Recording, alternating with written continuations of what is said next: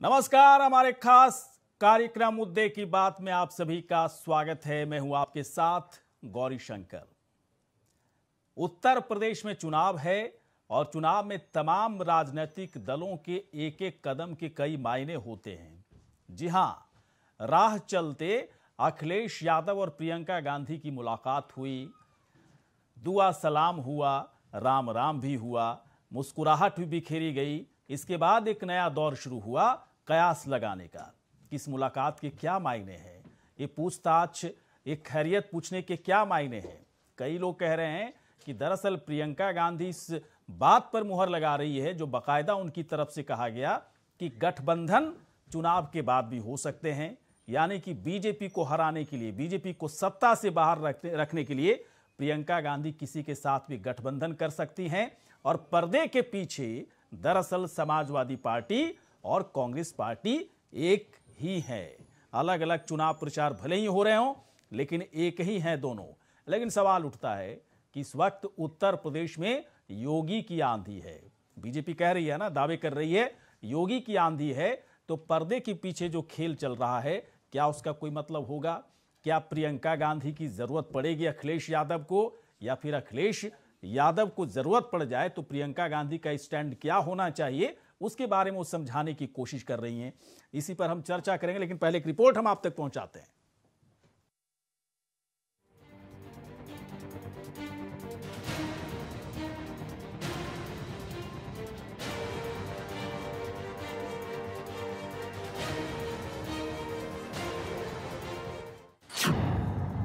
राह चलते अखिलेश प्रियंका की मुलाकात।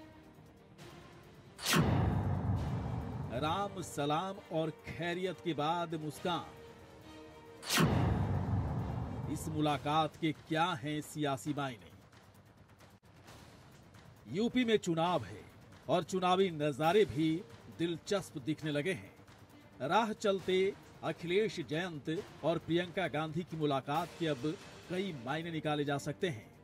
आज की राजनीति में हर कदम के मायने होते हैं। और माना जाता है कि चुनाव में नेता कुछ भी बिना राजनीतिक नहीं करते।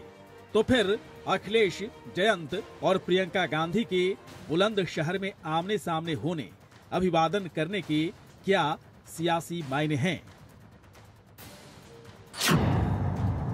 प्रियंका के चुनाव बाद गठबंधन के संकेत पर मुहर लग गई।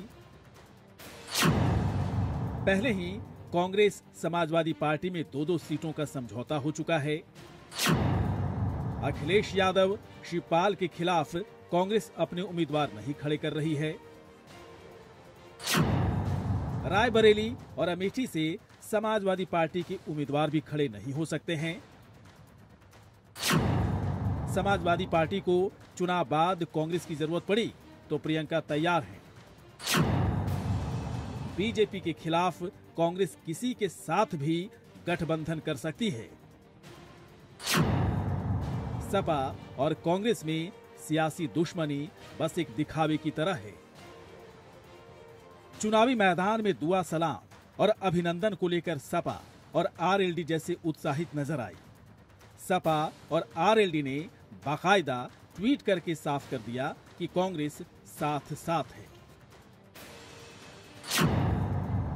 बुलंद शहर की बुलंद आवाज़ अब की यूपी में होगा बदलाव। बुलंद शहर में बुलंदी के साथ गूंजा गठबंधन का जयकारा। यूपी चुनाव में जो दिख रहा है, वो है नहीं, बल्कि पर्दे के पीछे बड़ा खेल चल रहा है। वैसे बीजेपी दावा कर रही है कि 10 मार्च को सभी की गर्मी निकाल दी जाएगी।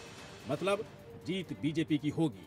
फिर सपा कांग्रेस की पर्दे के पीछे वाला खेल का क्या होगा? Bureau report, India. Samajwadi Party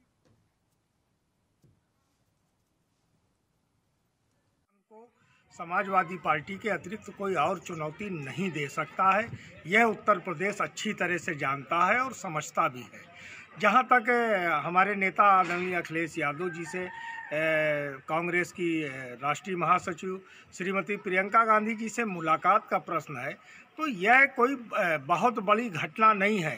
राजनेता, सभी राजनीतिक दलों के कार्यकर्ता, आपस में कोई व्यक्तिगत रंजिश तो है नहीं कि वह लोग आपस में बात नहीं करेंगे। हमारा संघर्ष वैचारिक मुद्दों पर है, सैद्धांतिक मुद्दों पर है और समाजवादी पार्टी उन्हीं मुद्दों के साथ आगे उत्तर प्रदेश में बढ़ रही है। ये एकमात्र संयोग था अपने अपने दल के प्रचार के लिए दोनों नेताओं की भेंट हो गई, आकस्मिक भेंट हो गई और दोनों नेताओं ने राजनीतिक शिष्टता का परिचय देते हुए एक दूसरे से अभिवादन किया, राजनीतिक शिष्टाचार का परिचय देते हुए, इसमें राजनीतिक निहितार्थ निकालने की कतई आवश्यकता नहीं। चले राजनीतिक मतलब निकालने की बिल्कुल इसमें ज़रूरत नहीं है। कौन सी बड़ी बात है? चुनाव प्रचार चल ही रहा है। उत्तर प्रदेश में चुनाव है। हर पार्टियाँ चुनाव प्रचार में पूरी तरह से लीन है। तो एक पार्टी के सुप्रीमो, दूसरे पार्टी के सुप्रीमो को अगर नमस्कार कर रहे हैं राम राम कर रहे हैं दुआ सलाम कर रहे हैं तो क्या दिक्कत है इसमें? लेकिन कयासों का बाज़ार ही अलग होता है और कयासों के बाज़ार में उतर कर देखिए तो फिर कई मायने निकाले जाते हैं और उन्हीं मायनों के आधार पर जब चीज़ें कुछ कही जाती है तो मालूम चलता है कि सब चीज़ें तो पहले हो रही थी, इसलिए इसलिए इस तरह से दुआ सलाम और राम राम जैसी घटनाएँ हो रही थी, सियासी घटनाएँ हो रही थी, लेकिन क्या है इसका मतलब? समझेंगे, कई मेहमान इस वक्त हमारे साथ जुड़े हुए हैं। सिर्फ़ यही, इसी पर हम लोग डिबेट नहीं करेंगे, बल्कि उत्तर प्रदेश की सियासी फिजा में इस वक्त गर्माहट बढ़ती जा रही है। गर्माहट इसलिए है कि बीजेपी कह रही है कि अब योगी की आंधी आ चुकी है, विपक्ष पूरी तरह से धराशाही हो जाएगा। होगा नहीं होगा, अलग बात है। समाजवादी पार्टी कह रही है 400 सुपर सीटें लाएँगे। तो फिर प्रियंका गांधी को राम दुआ सलाम कर, करने में क्या फ़र्क है? करें, अगर उनको इतना कॉन्फिडेंट है कि उनकी सरकार बन रही है तो कोई दिक्कत ही नहीं है। चलिए, इस वक्त कई मेहमान हमारे साथ जुड़ चुके हैं। और सीधे चलते हैं। और जैसा कि लगातार हम आपको बता भी रहे हैं कि जो मुलाकातें हुई, दरअसल मुलाकातें कोई एकदम से पास पास का तो था नहीं। दूर दूर से दुआ सलाम दूर दूर से ही नमस्कार, प्रणाम हुआ। एक ही रास्ता बुलंदशहर, जहाँ से दोनों पार्टियों का, पार्टियों की जो चुनावी रथ यात्रा है वो गुजर रही थी। इसके बाद आमना सामना और फिर कई तरह के कयास इस वक्त लगाए जा रहे हैं। लेकिन एक बात तय है, प्रियंका गांधी ने एक बात तय कर दी, जैसा कि वो लगातार पहले भी कहती रही हैं कि चुनाव के बाद गठबंधन करने के अगर अवसर कांग्रेस पार्टी के पास रहेंगे तो वो बिल्कुल बीजेपी को हराने के लिए बीजेपी के खिलाफ गठबंधन में जा सकती हैं। उस पर वो मुहर लगा दी है। भले ही अनजाने ही, लेकिन उनकी तरफ़ से मुहर लग चुकी है। तो इसी पर हम लोग आज चर्चा करेंगे और चर्चा करने के लिए इस वक्त कई मेहमान हमारे साथ जुड़े हुए हैं और चलते हैं उनके पास। डॉक्टर कौशल कांत मिश्रा जी इस वक्त हैं, बीजेपी के प्रवक्ता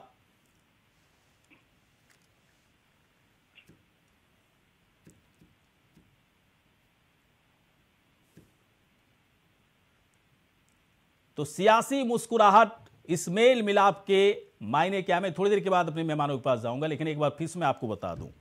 इसके अलावा उत्तर प्रदेश के चुनावी प्रचार में कई सारी बातों का ज़िक्र किया जा रहा है। गर्मी निकालने की बात, चर्बी उतारने की बात, साथ ही साथ हिंदुओं के अंदर भूसा भर देंगे, भूस भर देंगे। इसके अलावा हिंदू गर्दी की बात हो रही है तो भाषा की, सियासी भाषा की मर्यादा भी टूटती जा रही है। तो साफ़ तौर पर कहा जा सकता है कि अगर चुनाव प्रचार हो रहे हैं, सियासी भाषा मर्यादित नहीं है तो इसका प्रभाव जनता के ऊपर किस तरह से पड़ेगा? इस पर भी हम लोग चर्चा करेंगे, जानने समझने की कोशिश करेंगे।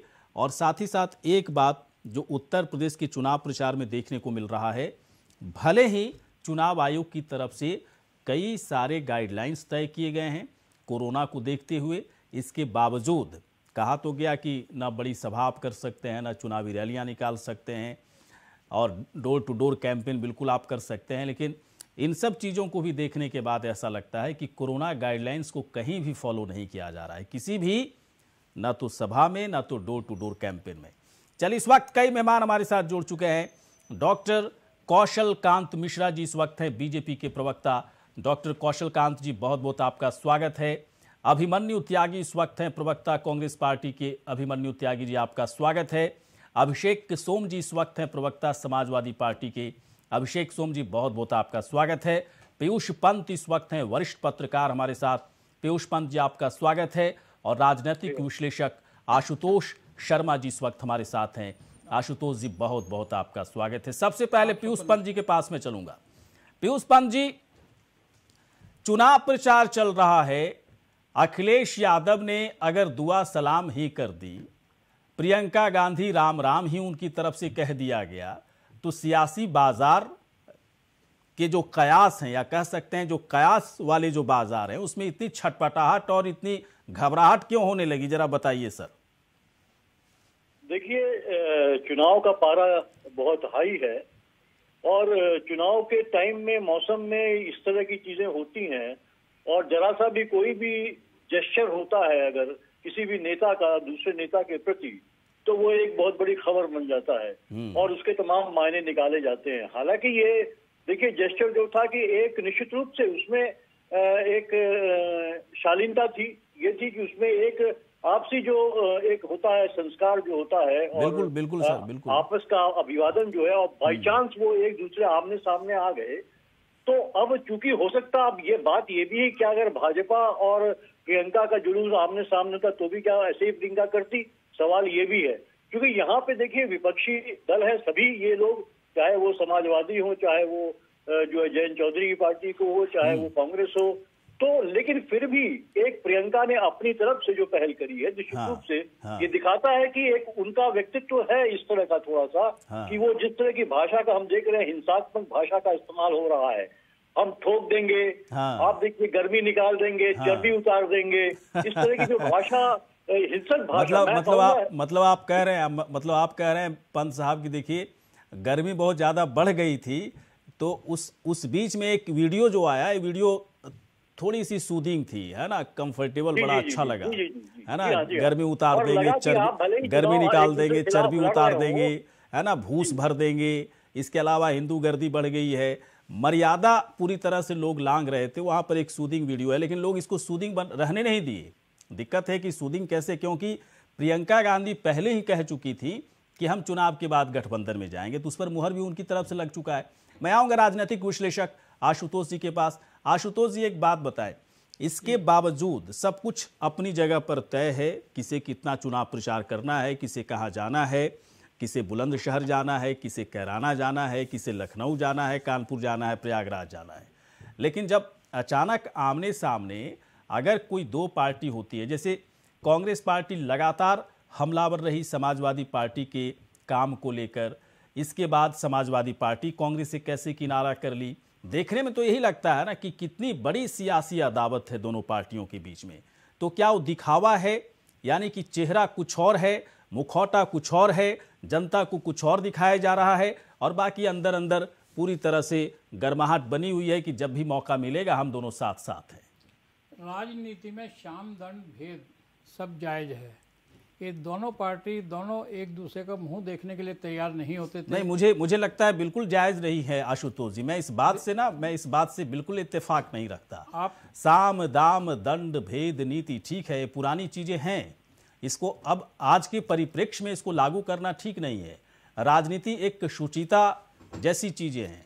और अगर आप अगर आप शुचिता होकर के राजनीति करते हैं ना तभी आप जनता का भला करेंगे। दाम साम दाम दंड भेद नीति राजनीति में आने की वजह से ही राजनीति का बेड़ा गर्क हो गया पूरी तरह से। मैं जायज़ नहीं मानता हूँ आप बोलिए लेकिन अगर शुचिता का पालन करते हाँ। तो ये राजनीति से बाहर नहीं होते। हाँ। कांग्रेस पार्टी को जैसा मैं देख रहा हूँ कि आज की तारीख में अपना अस्तित्व बचाने के लिए उनको जो भी उपाय मिल रहा है जो भी रास्ता मिल रहा है वो अपनाने के लिए तैयार है हाँ। और ये इनका गठबंधन जो है एक दूसरे का सपा के साथ कि हम चुनाव के नतीजे के बाद एक दूसरे को ज्वाइन कर लेंगे ये उसी घबराहट का इनका विषय है हाँ। और इस समय कांग्रेस पार्टी में बहुत ज़्यादा घबराहट है अखिलेश यादव कुछ अपनी पार्टी को होल्ड करने में कामयाब हुए हैं पहले से कुछ हाँ। उनको बीजेपी का कुछ मतलब, फ़ायदा हो रहा है। मतलब आप आप ये कहना चाह रहे हैं आशुतोष जी कि जब यूपी के दो लड़के फेल हो गए जी। उसके बाद उसके बाद बीजेपी की सरकार बन गई तो यूपी के दो लड़के भले ना सामने आए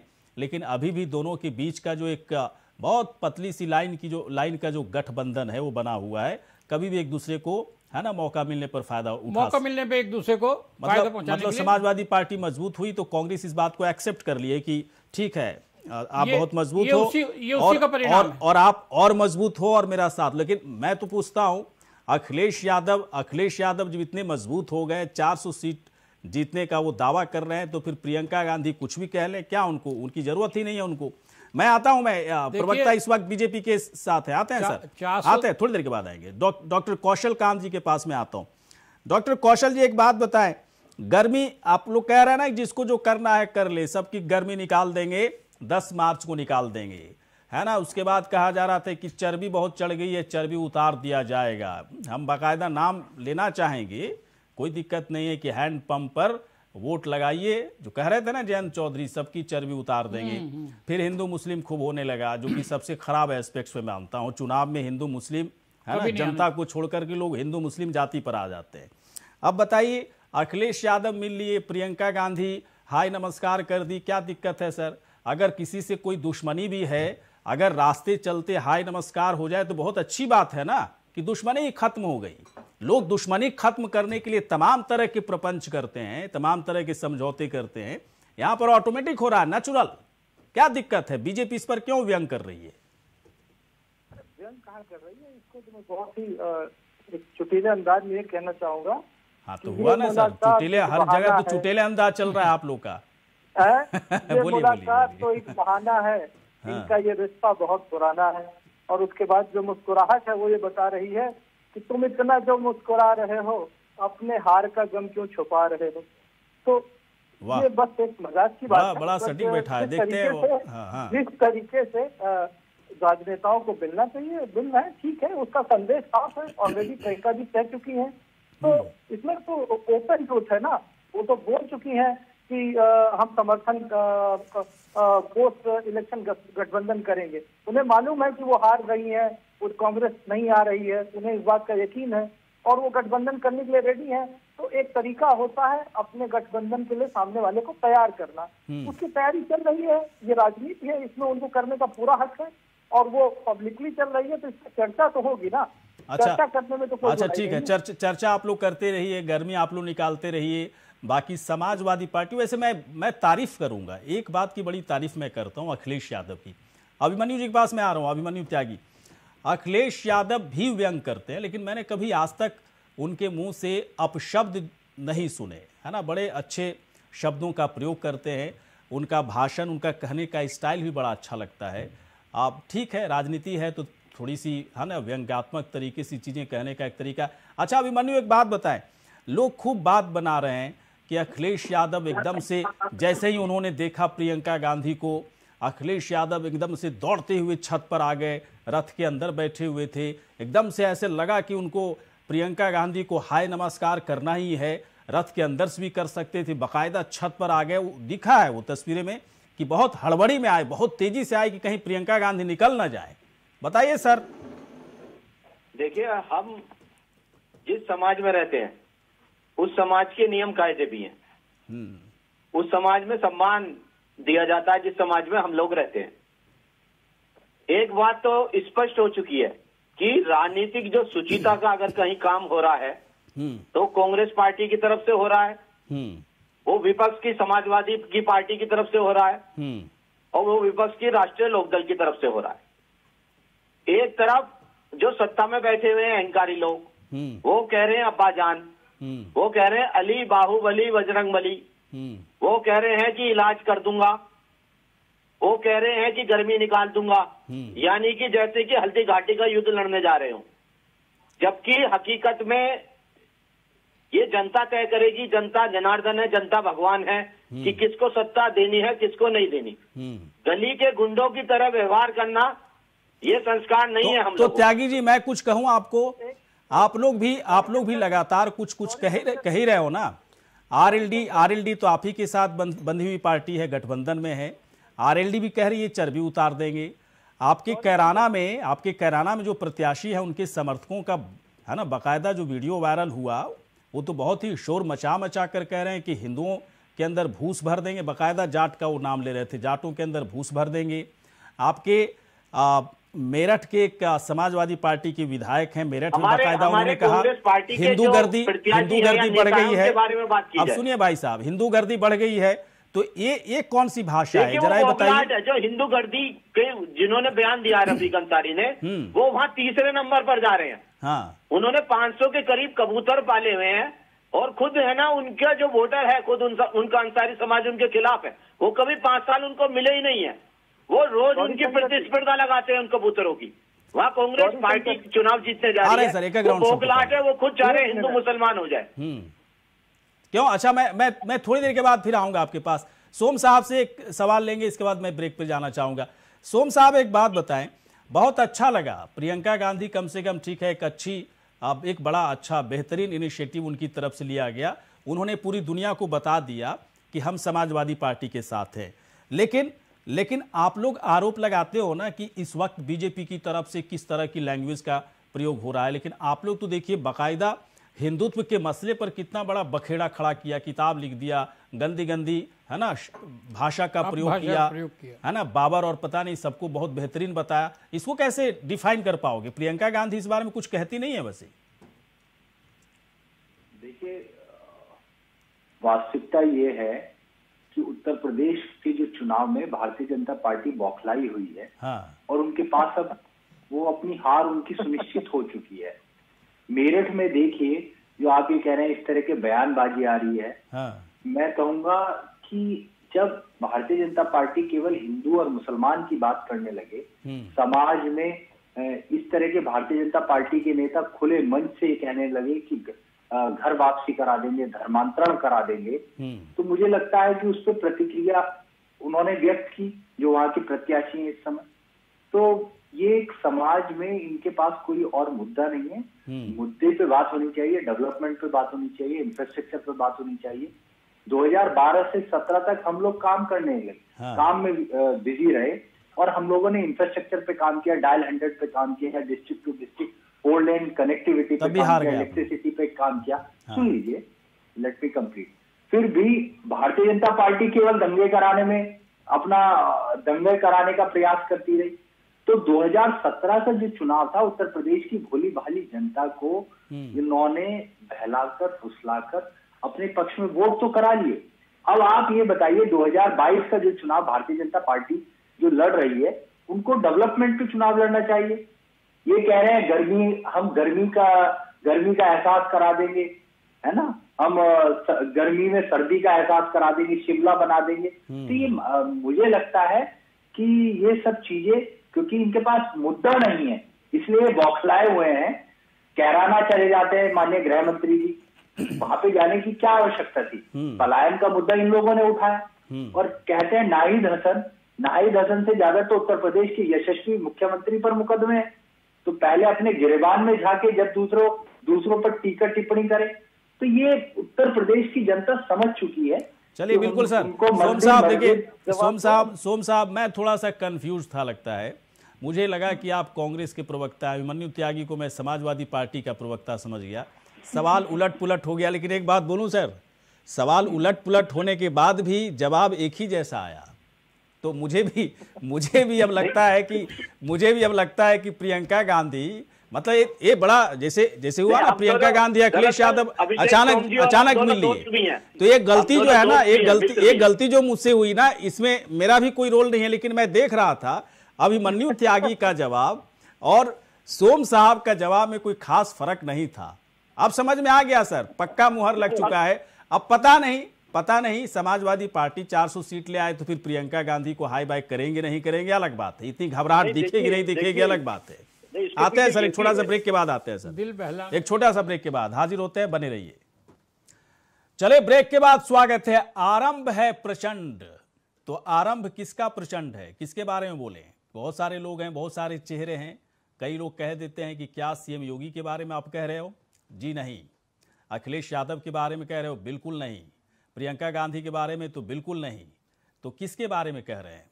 यह आरंभ है प्रचंड जो है ना ये जनता के बारे में दरअसल है। जनता जिस पर मुहर लगाएगी, आरंभ का मतलब पश्चिमी उत्तर प्रदेश से जो आरंभ हो रहा है चुनाव प्रचार, उसी की प्रचंड जीत होगी। और कई मेहमान इस वक्त हमारे साथ हैं। पीयूष पंत जी के पास चलते हैं। पीयूष पंत जी, एक बात बताएँ। आरंभ यानी कि पश्चिमी उत्तर प्रदेश से शुरुआत होने वाला है। 10 फरवरी, है ना? 10 फरवरी लोग, लोगों के लिए एक तरह से, आप क्या कह सकते हैं, लोकतंत्र का एक पहला उत्सव होगा उत्तर प्रदेश में। क्या लग रहा है, सर? वाकई में पश्चिमी उत्तर प्रदेश जिसका होगा उसी की प्रचंड जीत होगी उत्तर प्रदेश में। और क्या लग रहा है पैरामीटर क्या कहता है? नहीं देखिए कहा तो ये जाता है कि पूर्वी पूर्वी उत्तर प्रदेश जिसका होगा उसे जो फतह कर लेगा हाँ। आ, उसका पूरा उत्तर प्रदेश हो जाएगा। ये बड़ा कंफ्यूजन है ना पीयूष पंत जी। पूर्वी बोले पश्चिमी बोले बुंदेलखंड बोले जी जी जी जी बड़ा कंफ्यूजन है कभी कहा जाता है पूर्वी उत्तर प्रदेश जीत लिए तो लखनऊ पहुँच गए फिर कहा इस बार तो कहा जा रहा है पश्चिमी उत्तर प्रदेश जीत कर दिखाओ तभी लखनऊ पहुंचोगे जी जी जी जी क्योंकि इस बार जो है कि देखिए एक विपक्ष का ने हवा बनाई हुई है और चूँकि पश्चिमी उत्तर प्रदेश लगातार हमने देखा पिछले आप देखिए दो तीन चुनाव से एक दो हज़ार सत्रह का विधानसभा चुनाव हाँ। और दो लोकसभा चुनाव हाँ। तो जो एक पोलराइजेशन किया गया वहाँ पे जाट हाँ। के बीच में और जो है कि मुसलमानों के बीच में। हाँ। मुजफ्फरनगर का जो दंगे हुए थे 2013 में उसके बाद से लगातार। उसका फ़ायदा पूरी तरीके से भाजपा को मिला था।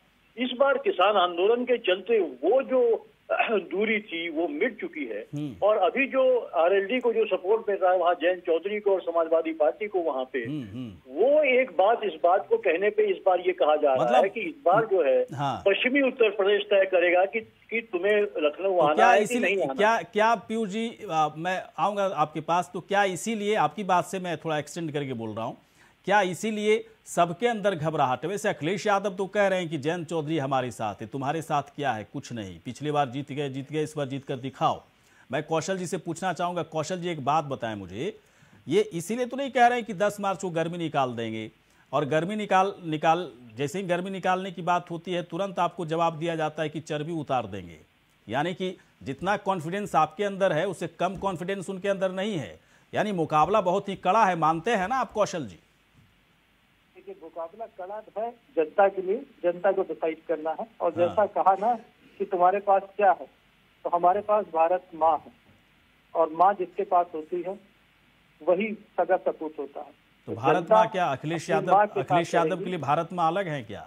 ये तो बड़ा अजीब बात कर रहे हो डॉक्टर कौशल। कहा मैंने उससे जवाब दिया। भाई उसको आप उसके बाल की खाल नहीं निकालिए बाल का खाल निकाल बाल का खाल निकालना मेरा काम है सर।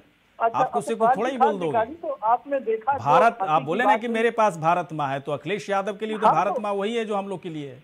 नहीं नहीं नहीं नहीं नहीं नहीं। नहीं अलग है। इस पे सवाल उठाता हूँ क्यों क्योंकि आप ये देखिए अभी हमारे पहले मित्र बोल रहे थे कि जो मुजफ्फरनगर में दंगे हुए बिल्कुल सही बात है।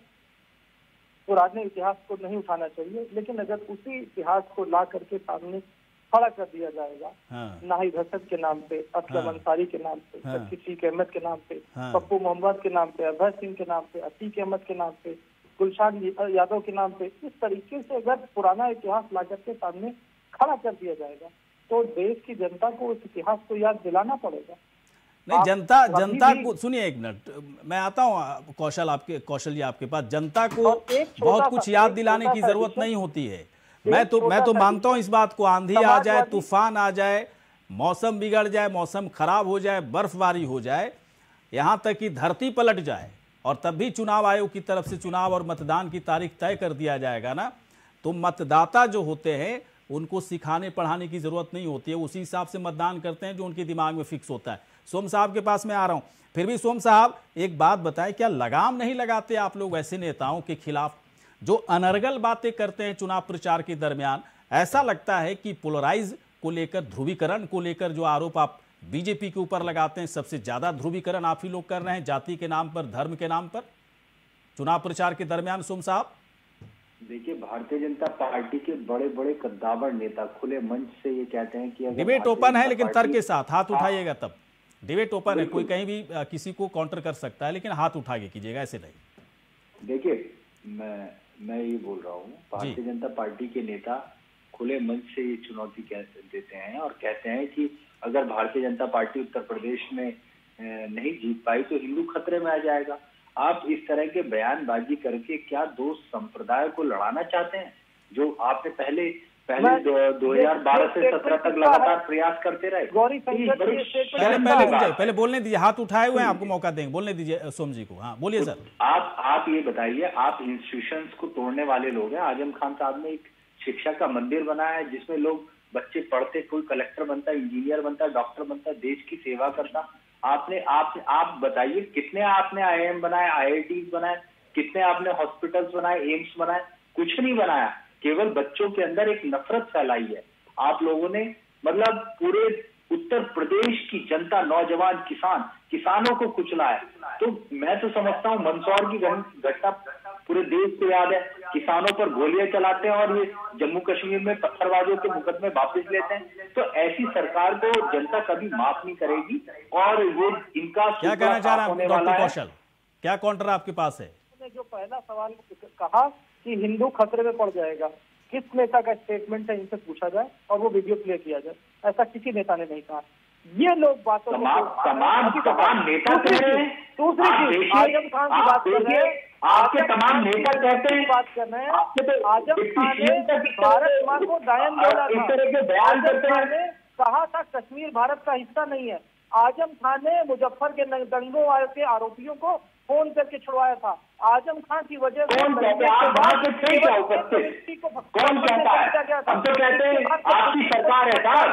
आप क्या जिससे आपकी केंद्र में सरकार है आपकी राज्य में सरकार ये जिस आदमी का नाम लिया जब तक राजनीति आप ये सोचिए कि पंद्रह हज़ार करोड़ की प्रॉपर्टी को तोड़ करके उस पर ऊपर घर बनाने का काम भारतीय जनता पार्टी ने किया है। आप दंगों की बात कर रहे थे। समाजवादी पार्टी के समय में सात सौ दंगे हुए हैं एनसीआरबी का डेटा है। बसपा तो सरकार आपने कह रहे हैं जबकि हम तो हम तो कहेंगे कि सारे के सारे हम तो कहेंगे सर्वोच्च न्यायालय अपनी निगरानी में जाँच कराए। आपके साथ चलेंगे उनके। परसेंट और बलात्कार के मामलों में पैंतालीस परसेंट की कमी हुई है। ये समझ लीजिए दो हज़ार क्या क्या क्या सोम साहब एक बात बताएँ सोम साहब एक बात बताएँ। क्या क्या क्या समाजवादी पार्टी को अखिलेश यादव को आप लोगों को जो आंकड़े ये लोग पेश करते हैं, बीजेपी के प्रवक्ता की तरफ़ से कि इतने कम हो गए, आपराधिक आंकड़े इतने कम हो गए, इतना विकास हम लोगों ने किया सातवें से दूसरे स्थान पर हमारी अर्थव्यवस्था आ गई। सत्तर सालों में जो काम नहीं हुआ, पाँच साल, यहाँ तक कि तीन साल में करके दिखाए। क्या इन सब चीज़ों पर बिल्कुल बिलीव नहीं होता, भरोसा नहीं होता? क्या कुछ नहीं दिख रहा कि तीन साढ़े तीन, पाँच साल में कुछ काम हुआ है उत्तर प्रदेश में? या फिर एक है एक लाइन है कि एक लाइन खींच दिए हैं कि बस विरोध करना है? क्या क्या है सोम साहब? स्टैंड बताइए सर देखिए बिल्कुल सत्यता ही आपके चैनल के माध्यम से पूरा देश देख रहा है। ये कुछ भी कह सकते हैं। ये तो कह सकते हैं कि न्यूयॉर्क से भी बेहतर इंफ्रास्ट्रक्चर उत्तर प्रदेश का है। ये तो यूके से भी लंदन से भी बेहतर बता सकते हैं। इनके नेता पश्चिमी उत्तर प्रदेश के गाँव में जा रहे हैं। सरगना के पास छुर में गए थे। भारतीय जनता पार्टी के प्रत्याशी। तो हाँ। उनका जनता ने बहुत भरपूर से स्वागत किया। उनका शिलान्यास किया उन गन्ने गन्ना लेकर गुड़ लेकर तमाम किसान इनके स्वागत के लिए खड़े हुए हैं जाइए ना पश्चिम उत्तर प्रदेश की ज़मीन पर आप पैर रखिए हाँ। आपके नेता जाइए आपका स्वागत करने के लिए किसान मजदूर नौजवान सब तैयार खड़े हुए हैं हाँ। आपने केवल उत्तर प्रदेश की जनता को ठगा है और क्या अभिषेक जी अभिषेक जी और देखा देखी देखा देखी आपके आपके नेताओं के समर्थकों की तरफ़ से उकसाया तो क्या होगा आपके नेता की तरफ़ से ही कि है ना धमकाने वाली जो जो चीज़ चल रही है चुनाव से पहले कि मतलब वोट कर देना नहीं तो देखना क्या कर दूँगा भूस भर दूँगा है ना जो हम लोग भूसा समझते हैं भूसा भर दूँगा। ये सब ये सब उचित लगता है आपको अभिषेक?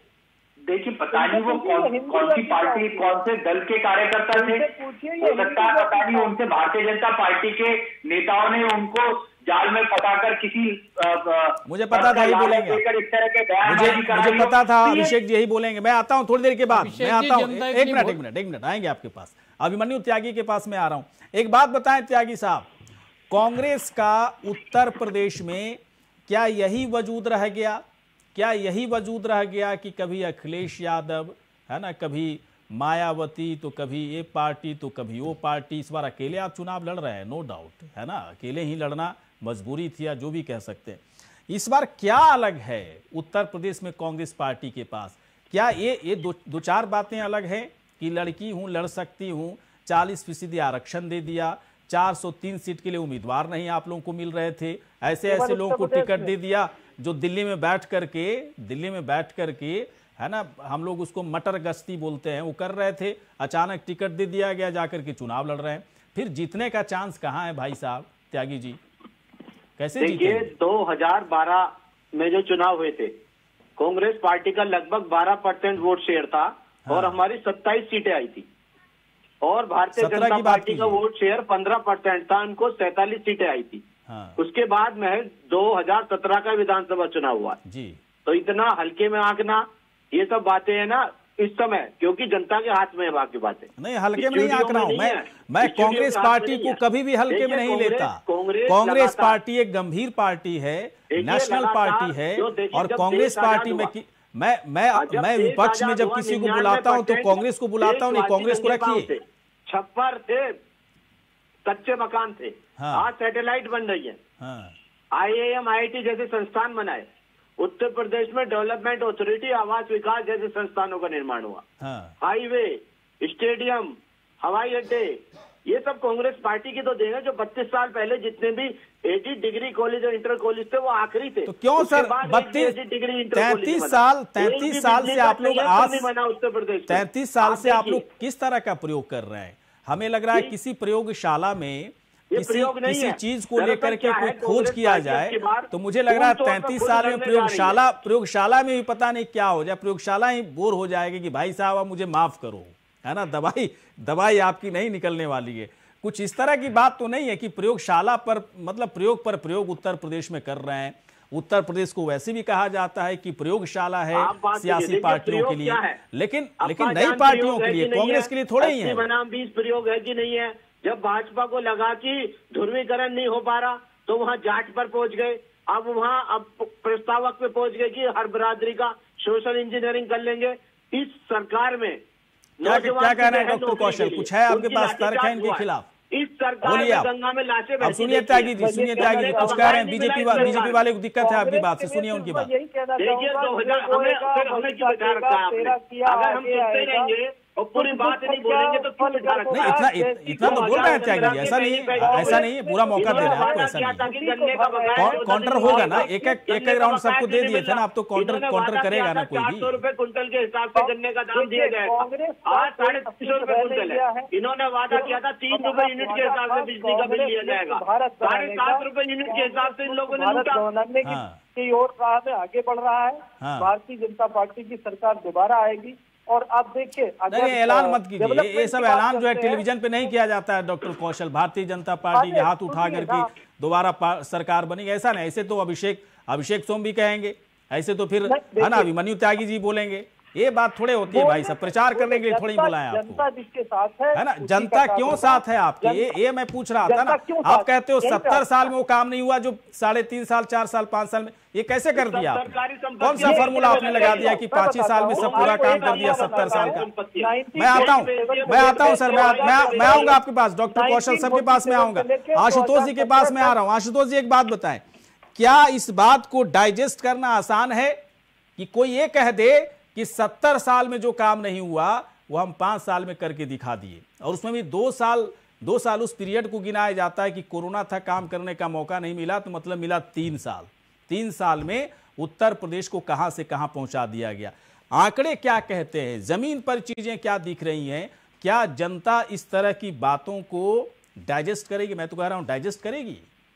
क्या उसको दिख रहा है ऐसा? आज का वोटर बहुत समझदार है वो अब पॉलिटिशियंस की बातों में आने वाला नहीं है। ये बात ठीक है कि साठ पैंसठ साल नहीं नहीं ओहो वोटर समझदार हटाइए ना उस बात को। हुआ या नहीं हुआ वोटर समझदार अगर अगर समझदार होता ना वोटर देखिए सुनिए सुनिए भाई साहब अगर वोटर समझदार होता ना तो हमारे देश देश का लोकतंत्र की हालत ऐसी नहीं होती। हमारा वोटर ही तो समझदार नहीं है। मैं पीयूष पंत से इस बात को लूँगा लेकिन पहले आप बताइए कि क्या है सत्तर साल सत्तर साल वर्षे सत्तर साल बनाम पाँच साल का कुछ हिसाब बनता है क्या? या बीजेपी बस हाथ खड़ा करके कह रही है हमारी सरकार बनेगी 350 से ऊपर लाएँगे क्योंकि सत्तर साल में काम नहीं हुआ पाँच साल में हमने करके दिखाया। इस बात जनता कितना बिलीव कर रही है? इस बात को नकारा नहीं जा सकता कि कार्य कांग्रेस के कार्यकाल में भी हुआ लेकिन तीन साढ़े तीन सालों में जो कार्य दिखाई दिया है लोगों को हम्म। वो कहा कांग्रेस की बात कर रहे हैं आशुतोष जी? तैतीस साल पहले वाली पार्टी अभिमन्यु त्यागी कह रहे हैं अभी भी। वो तो एक्सेप्ट कर रहे हैं बेचारे की तैतीस साल पहले हम लोग ने किए। है ना? काम तो काम तो उसके बाद कौन? अभिषेक अभिषेक सोम की पार्टी की तरफ़ से हुई। मायावती की पार्टी की तरफ़ से हुई। अब बीजेपी कह रही है कि उन लोगों ने जितना किया उससे ज़्यादा हमने किया। बीजेपी ने जो पिछले तीन साढ़े तीन साल में काम किया उन दूसरी दो पार्टियों के कंपेरिजन में वो ज़्यादा कार्य है। हाँ। जो जनता को आज दिखाई दे रहे हैं। नए रोड्स का निर्माण हाँ, हुआ ये कितना कारगर है? कितना कारगर है? पीयूष पंत के पास आने। पीयूष पीयूष जी आते हैं सर आते हैं। डॉक्टर कौशल मैं आप आपके पास आऊँगा लेकिन आपको काउंटर अभी करेंगे अभिषेक सेम जी। इसलिए सवाल मैं पूछूँगा फिर अभिषेक सोम जी आपको काउंटर करेंगे। वरिष्ठ पत्रकार पीयूष पंत जी पीयूष पंत जी एक बात बताएँ। लोग दावे करते हैं चुनाव से पहले। दावे करने भी चाहिए। मैं नहीं कह रहा हूँ। त्यागी साहब जो कह रहे हैं प्रियंका गांधी जो कह रही हैं कि लड़की हूँ लड़ सकती हूँ चालीस फ़ीसदी लड़कियों को आरक्षण दिया गया। मेरी मेरी सरकार बने ना बने लेकिन किंग मेकर की भूमिका में आएँगे। बाकायदा सोम साहब की पार्टी कह रही कि हमारी सरकार बनने जा रही है।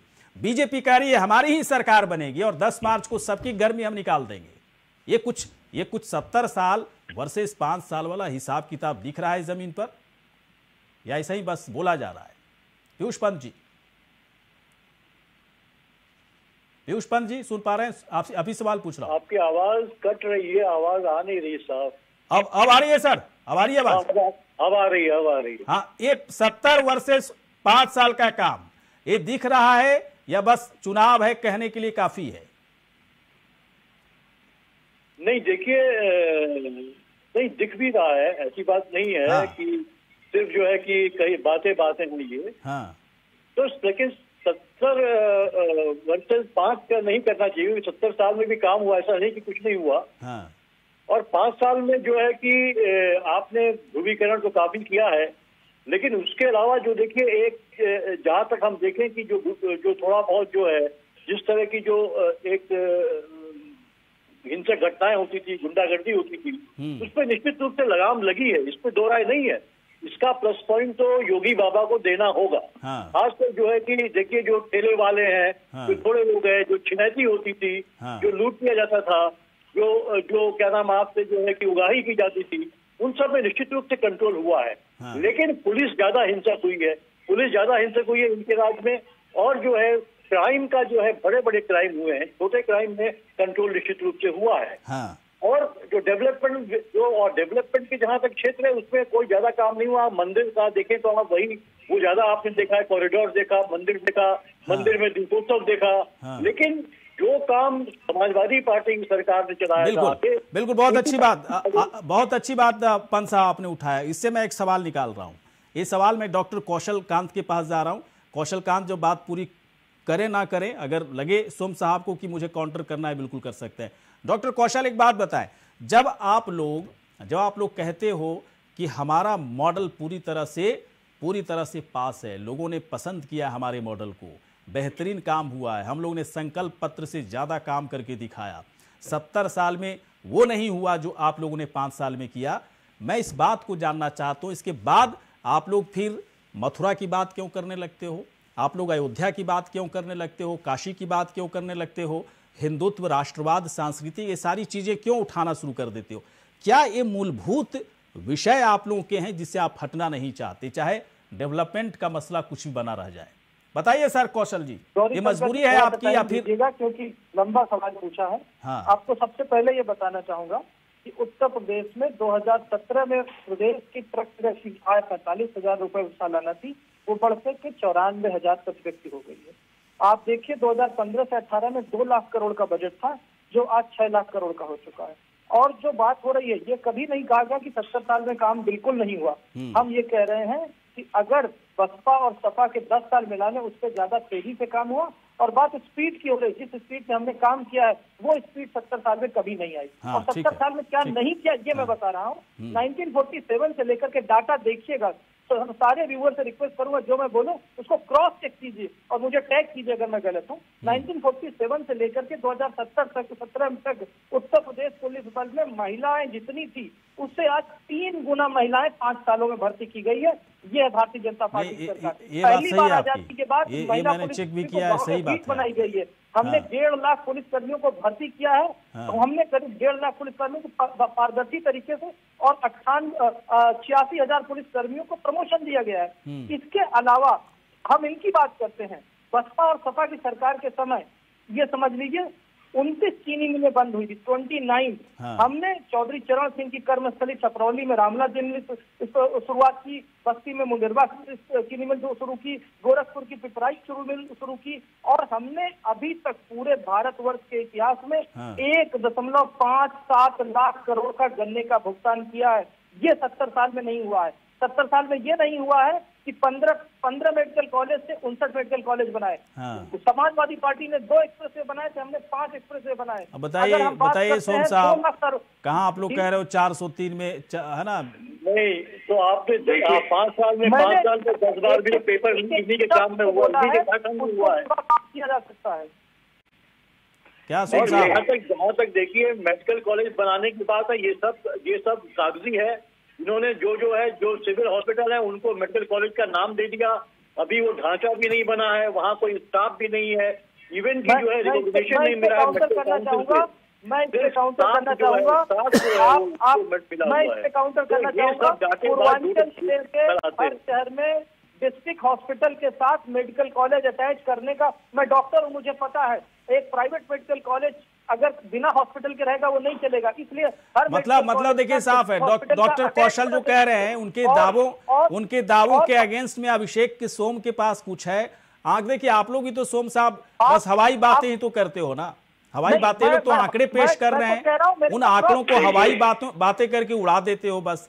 लेकिन जनता को अगर फ़ायदा हो रहा है ना सोम साहब ये बातें अगर बातों का असर हो रहा है तो मानकर चलिए इस बात को सोम जी। ये 400 403 में 400 सुपर सीट लाएँगे तो नहीं चल पाएगा नहीं हो रहा है। देखिए डॉक्टर आपने अपनी बात पूरी रख लिए सुनने की भी क्षमता रखें। दस दस बीस सेकंड है सर बोलिए।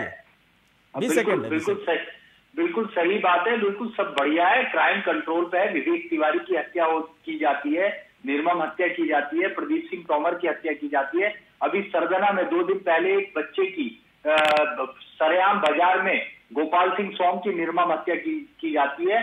और आप देखिए किसानों को कुचला जाता है सब ठीक है। लॉ एंड ऑर्डर बहुत बढ़िया है। कुलदीप सिंह सेंगर जैसे बलात्कारी की पार्टी में जवाब बहुत बढ़िया है। तो इंफ्रास्ट्रक्चर में बात करिए था कौन से आए हुए आप बताइए पूर्वांचल एक्सप्रेस में किसकी देन थी आप ये चाहे तमाम Kanpur metro Lucknow metro women helpline dial hundred dial hundred का हम लोग स्पॉटलाइट पुलिस का अपग्रेड वर्जन लेके आने वाले थे तो ये सब बकवास बातें हैं आप लोगों की। ये मुझे लगता है कि झूठ से थोड़ा सा चलिए सर समय खत्म हो गया। समय खत्म हो गया। सर बहुत लंबी चर्चा हो सकती थी। बहुत सारे सवाल रह गए। बहुत सारे सवाल जो मुझे पूछना था कांग्रेस के प्रवक्ता से समाजवादी पार्टी के प्रवक्ता से पीयूष पंत जिसे बहुत सारे ज्ञान हासिल करने थे। अब इसके बाद आशुतोष जी से बहुत सारे सवाल रह गए। नहीं हो पाया पूरा। लेकिन एक बात तो समझ में आ गई कि चुनाव चुनाव का वक्त है, गर्माहट बढ़ती जा रही है, भाषा की मर्यादा भी टूटती जा रही है। साथ ही, साथ कहीं कहीं भाषा की मर्यादा टूटने के बावजूद कहीं कहीं से बहुत अच्छे अच्छे वीडियो भी आ जाते हैं मेल मिलाप को भी अच्छा लगता है। लेकिन इस बीच में बीजेपी कह रही है, योगी की आंधी है, विपक्ष धराशायी हो जाएगा। देखते हैं देखते हैं कि गर्मी निकलती है, चर्बी उतरती है, क्या होता है? देखना तो होगा। क्या, पीयूष पंत जी? हम लोग देखेंगे इस बार। बिल्कुल बिल्कुल बिल्कुल। चलिए सर आप सभी यहाँ पर आए। बहुत बहुत शुक्रिया। धन्यवाद। धन्यवाद सर। धन्यवाद। इसी के साथ क्रम इतना ही। नमस्कार।